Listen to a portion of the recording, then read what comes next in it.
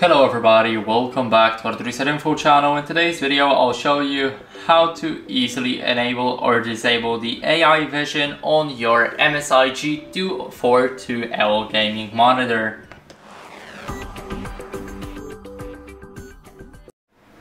So first we need to go into the monitor settings. We do that by clicking on the red button on the right side of the monitor. Now here in the gaming section we need to go over to AI vision and here as you guys can see now we can enable it by clicking OK on it. Now night vision won't be available. But as you guys can see, enabling it will affect MPRT, brightness, HDCR and night vision. So as you guys can see whenever we turn it off, we also can enable MPRT. As you guys can see here, we can enable it or disable it and here we will have information if it's either on or off. Now it's off and when it's white then it will be on. So that's basically it for the video. I hope it was helpful. If it was, then leave a like, sub, any comment and I'll see you in the next one.